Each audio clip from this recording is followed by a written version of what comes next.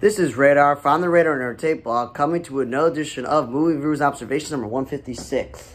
I watched Jackass Forever, and I could admit I haven't seen the whole entire franchise. I've seen scattered movies, but everyone gets the premise. They do a bunch of like, uh, you know, dangerous stunts that you shouldn't do at home. Unlike the, you know, the Practical Jokers who do like pranks. So like, I get the point. They have different people. They have a new set of people. You know, Steve-O's one of the people that's famous besides Johnny Knoxville. And yeah, and it's not even 90 minutes. It's like literally 80 something minutes with credits rolling of them doing crazy stunts. You know?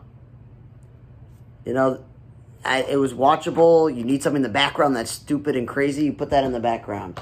Then I watched the movie without remorse. And I'm going to tell you this. The last military-esque movie I watched was A Journal for Jordan. That was like a two-hour movie. Boring, boring drama that took forever to get through. And he's not even in the movie. It's more of like flashbacks to Michael B. Jordan. This one is where it's an actual action movie where, you know, they say that, you know, Guy Pearce in this movie, but I obviously didn't recognize him. But basically the movie is Jamie Bell and Michael B. Jordan.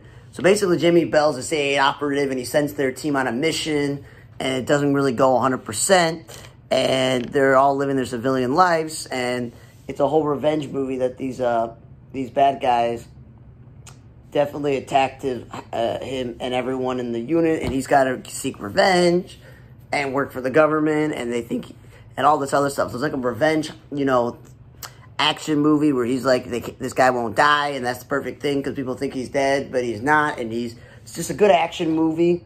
I'm just a little bit annoyed at Luke Mitchell of Agents of S.H.I.E.L.D. and Blindspot, and just to name some shows, was in the movie for a moment. Instead of him dying in combat, they killed him in civilian mode. And I was like, come on. Other issue was his like superior officer was another black person, but it was a woman with very short hair. And I couldn't tell if it was a guy or a girl in the beginning of the movie. A little bit interesting, but it's way better than the last military movie he was in. Then me and my roommate have been watching a lot of these straight to DVD Nicolas Cage movies. I've seen a lot without him.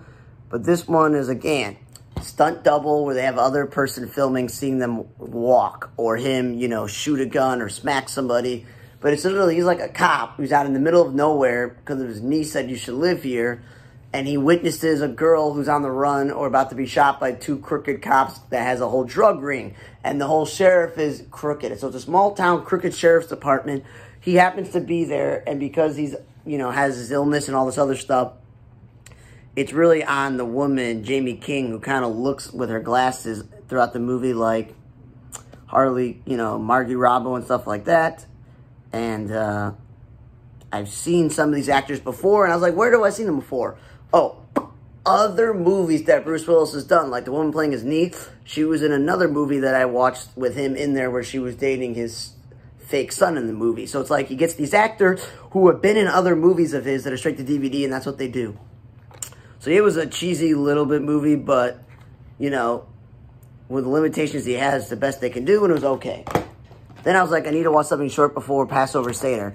And this movie said it's an hour and 23 minutes. It literally was an hour and 15 or 16 minute movie. I could have saved it for another time and watched something shorter. But it's not like a movie made from DreamWorks, Nickelodeon, or Disney Pixar. It says Lionsgate.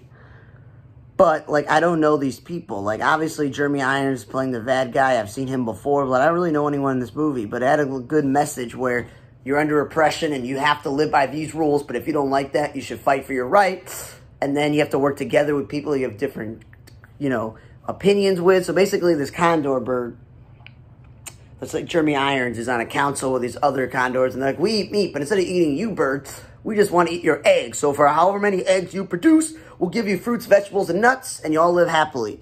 But there's like, there's other places to live. You don't got to live there. And this main woman, female bird was like a rare bird, and she doesn't really produce eggs. And they were like starving, and she's married to an owl who doesn't talk. It was weird. And they have this small little chickie birdie thingy. And after she tries to fight the power, something happens, and they get sent away, and they're all lost and they and a bat was like, I help you during the uh, nighttime. You help me out during the day. They have to learn to work together. It was interesting. So yeah, it was not a bad kids movie. It was just not the worst kids movie, not the best kids movie. And then I watched Last Night in Soho. And I was like, Anya Taylor-Joy, she's a good actress. This Thomasin McKenzie, okay. And uh, Matt Smith was supposedly someone in the flashback. And there's like another guy in the flashbacks who I've seen before. And literally, this movie doesn't know which lane it wants to be in. Rotten Tomatoes, for some reason, is on the same page between the critics and the and the fans. They both give it a like a good positive score, which surprised me because a lot of times they don't agree. And I usually agree with one of them. Now, the movie doesn't know if it wants to be a girl going out of her own from a small town in London where she's in a big city, going to fashion school, having to fit in. And I couldn't tell if this was in the 60s, 70s, or 80s, or 90s. But then eventually you saw some cell phones, but they didn't really prove what decade it was in until like you have to figure it out very hard. And she's struggling to fit in, so she's like, I'm moving on my own. But then she starts having visions of murders and all these other things. And this, this girl wants to become a singer and be a star. So it's like, do you want to be a horror film or do you want to be a girl trying to make it in in in the fashion world? So it's like all over the place, and I'm like, can we just get to the point? What do these visions mean? What's going on? It was like, eh, it was okay.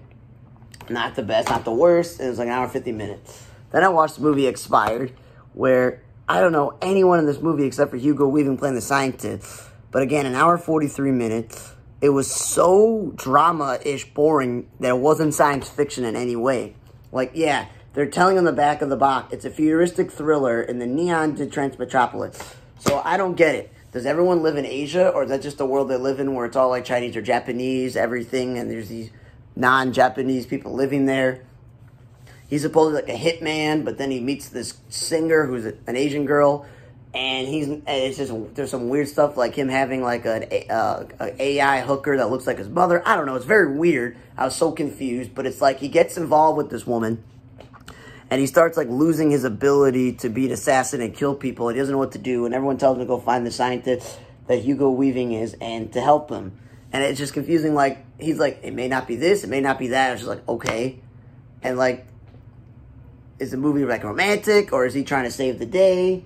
Or is, you know, he trying to figure out how to save himself? I don't know. It was just not that great of a movie. Then I was planning today on watching Batman, where I watched the first half before I went out to Sabbath Passover lunch, come back, finish the rest. Or start a movie, watch majority of it before I go out, but it literally was not my day, as I'm like two hours behind. So I'm like, like last Saturday, I'm not going to sit through a two hour movie when it's like five o'clock. I just want to get through my day. So I put on a movie called Come On, Come On with Joaquin Phoenix, where he's like a, a estranged uncle who's got to take care of his nephew who's got a lot of behavioral and other issues. And his job is he goes out and interviews like children and asks them questions, blah, blah, blah, blah. And I don't know why it's in black and white. I think nowadays it may cost more money to film things in black and white, but that doesn't help. The movie was so slowly moving that I felt this movie wasn't an hour and 46, 47 minutes or 45 minutes. I felt like it was two hours long. It just dragged on so long that I was like, I kind of lose interest in it. And I'm just like, okay, when is this movie going to end? And I just was like, eh. So literally, the best movie that I watched this week was Jackass Forever because I knew what I was getting into.